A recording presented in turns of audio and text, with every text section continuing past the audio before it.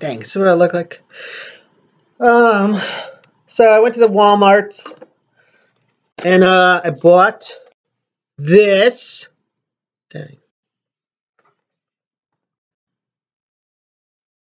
Where's the light coming from? Jesus.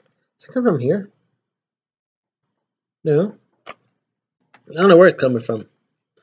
Maybe it's coming from here. Wait, I'll be right back. No? Is it coming from here now?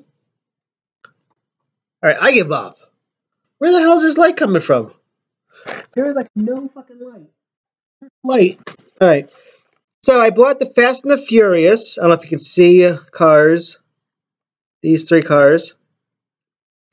What I plan to do this weekend is not probably not now because I'm drunk off my ass, but uh, I plan on drilling um, divots in all of them, then trying to find screws on eBay or wherever I can find them. Ugh. And screw them back together. And that's it. That's my plan. And if um, uh, what's this metal guy or hot big wheels or wheelers, if they are like, oh, you're doing it wrong, this is my way. Okay.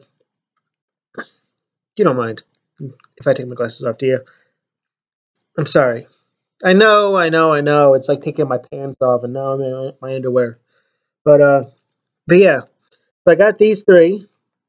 And so hopefully soon this weekend I'll be able to because we're not keeping this because this is all like in I don't know some unknown language. It says nine bucks, but actually got it for five bucks, which is still high because you can buy matchboxes for like 94 cents a piece. But I wanted these because I want to see if I can drill holes in them and have them still be okay cars. And so $5 is $5. Um, but yeah, so hopefully this is my new episode. More to come. Um, we can chill out and relax and maybe have fun with these.